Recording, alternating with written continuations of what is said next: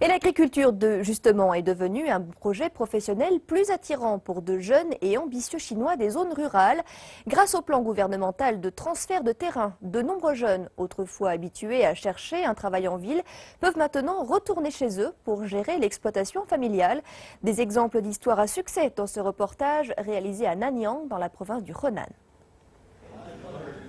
En moins d'une demi-heure, Shen Kexian a conclu la dernière étape de transfert de terrain dans la commune de Jinhua, dans la ville de Nanyang.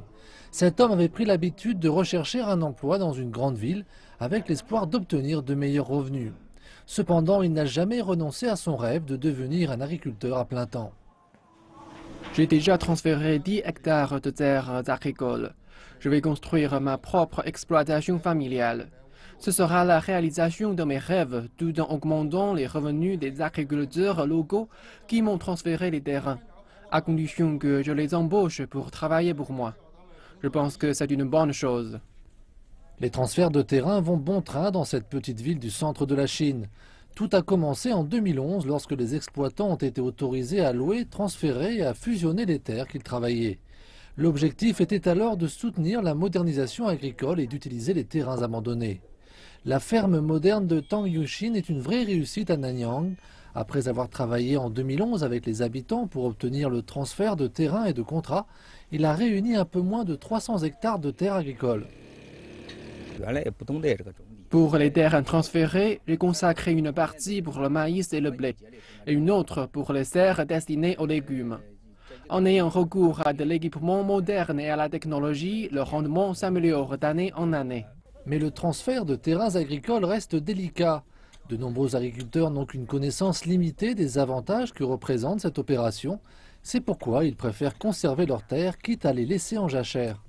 Les transferts de terrain permettent d'y intégrer de petites parcelles, ce qui rend plus facile l'utilisation de machines plus imposantes pour le semis et la récolte. Si l'un d'entre eux ne souhaite pas transférer, alors ma ferme familiale ne fonctionnera pas. C'est pourquoi je vais demander l'aide du gouvernement local. Il appartient aux agriculteurs de choisir de transférer ou non leurs terres. Ils ont le droit de décider par eux-mêmes. En tant que gouvernement, notre travail est de les aider à effectuer ce choix et à les protéger. Donc, s'ils ne veulent pas transférer leurs terres, il existe bon nombre de méthodes pour résoudre le problème. Par exemple, échanger les terres avec d'autres. Fin juin 2014, plus de 250 000 km de terres arables ont été transférés sur le territoire chinois, soit un peu moins de 30% de la surface nationale totale. Mais des saisies et utilisations irrégulières de ces terrains ont été relevées à de nombreux endroits. Pour cette raison, le gouvernement central de Chine prépare des textes contraignant d'une part les gouvernements locaux de cesser de fixer des objectifs de transferts irréalistes et d'autre part les spéculateurs à ne plus utiliser l'agriculture biologique et le tourisme comme des méthodes de mise en réserve de terres. Ces dernières années, les transferts de terrains agricoles se sont accélérés.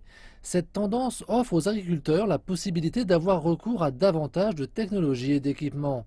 Il s'agit bien d'ouvrir la voie à l'agriculture moderne.